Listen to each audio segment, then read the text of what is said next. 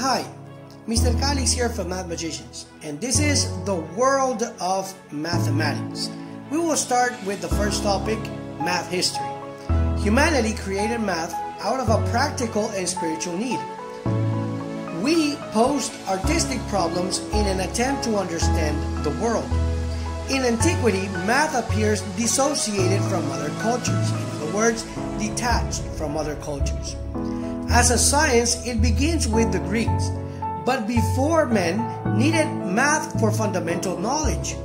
An example would be the idea of a number.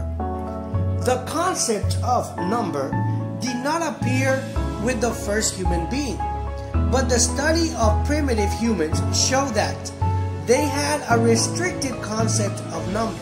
An example is they only used the numbers 1 and 2. When they referred to three or more, they just used many.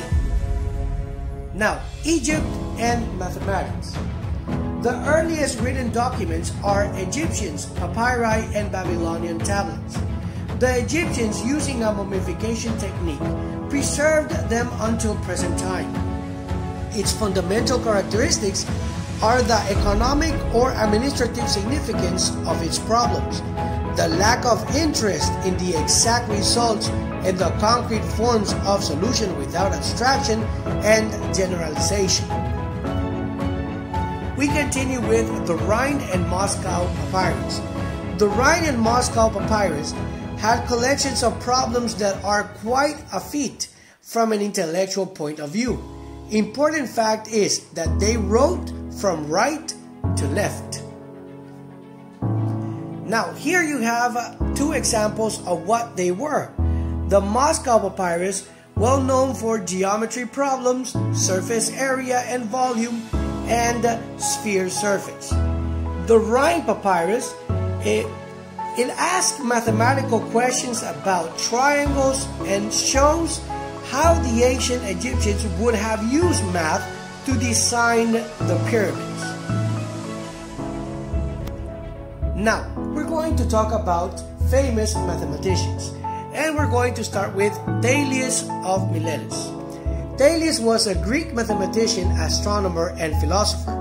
He used geometry to calculate the heights of pyramids and the distance of ships from shore.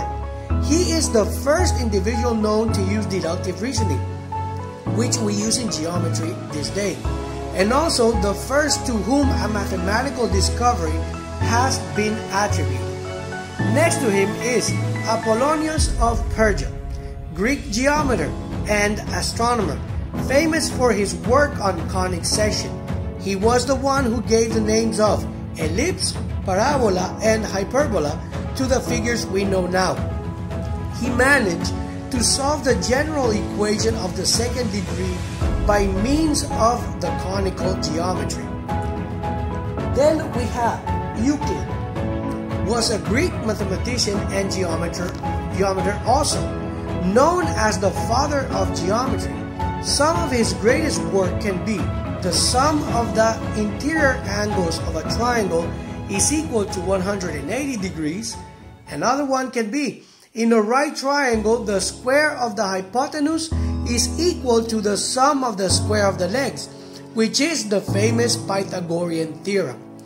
Next to him, we have Pythagoras, was a Greek mathematician, philosopher, considered the first pure mathematician, contributed significantly to the advancement of geometry and arithmetics.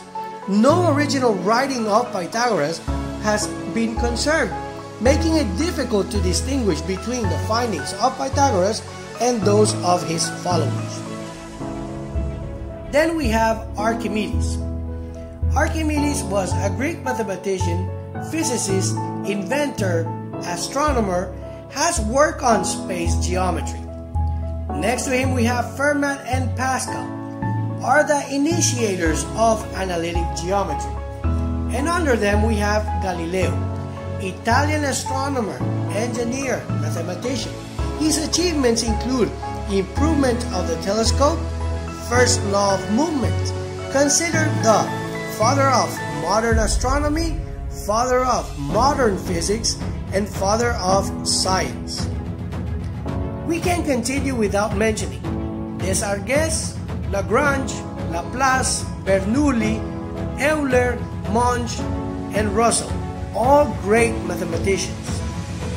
Now, we have two great mathematicians at the end, Isaac Newton and Gottfried Leibniz.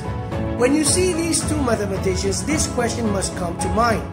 Who really invented calculus? Both mathematicians had a dispute of who really invented calculus. At the end, both shared the credit for the development of integral and differential calculus. Thank you for watching and don't forget, math is magic.